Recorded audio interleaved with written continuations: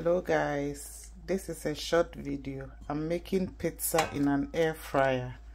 And here is my dough or my pizza dough. Here is my tomato. I'll add a little bit of seasoning on it.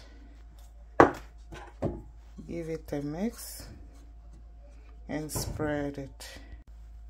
I'll now add my cheese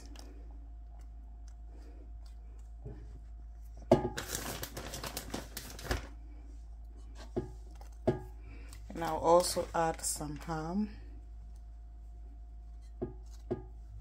Just like this. I'll set it now into my air fryer and then we start. And here is my mini pizza.